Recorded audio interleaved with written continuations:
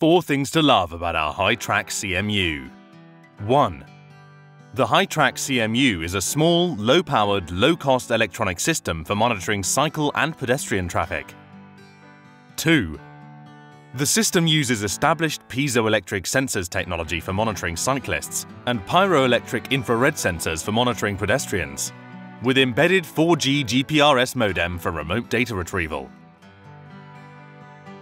The system is built to detect a combination of up to four lanes of cycling and pedestrians traffic.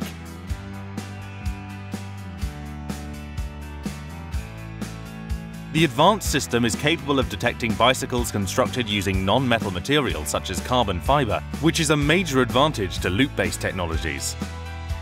4. Measures speed, direction and gap-slash-headway integrates with Cycle Active information display and traffic signal controllers for cycle safety measures at intersections. Provides triggers for cycle signal priority at traffic signalized junctions and for roadside advanced warning signs. Promoting cycle use. Environmentally friendly. Encourages a healthy lifestyle. Promotes modal shift from motorized vehicles to cycling and walking protect vulnerable road users and provide safer travel on cycle networks.